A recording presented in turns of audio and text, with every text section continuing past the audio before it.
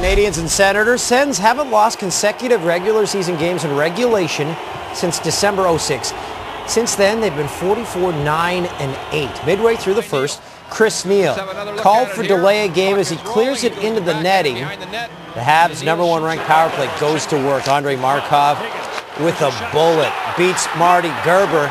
You've got rubber in your attic. 1-0 Habs. Top of your screen, now it's Saku Koivu and Patrick Eaves battle along the boards. They start pushing and shoving. You think, okay, nothing can come of this.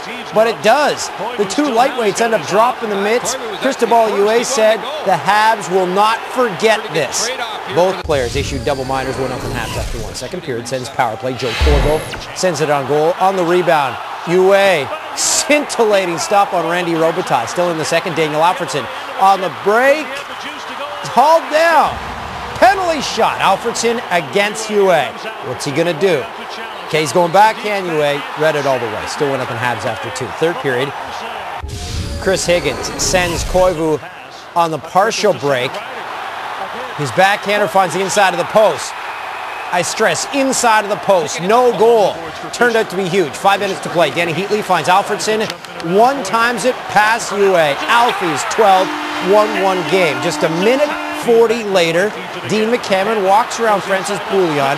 Now he's stopped, but the puck stays in the zone. The Sens keep possession.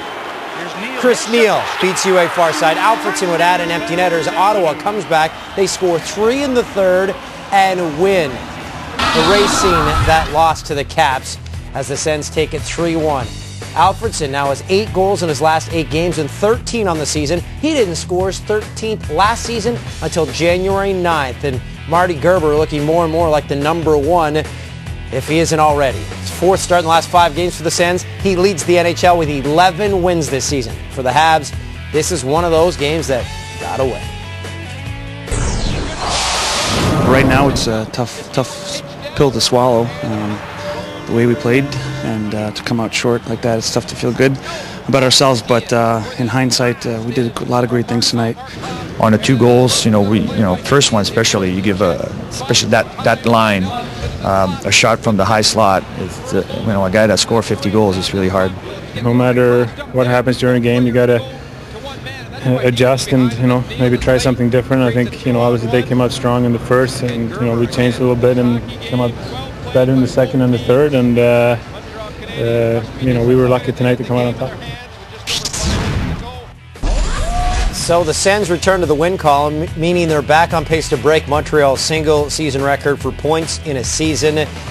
They've now got four days to think about it because uh, they don't host uh, the Sabres until Thursday night.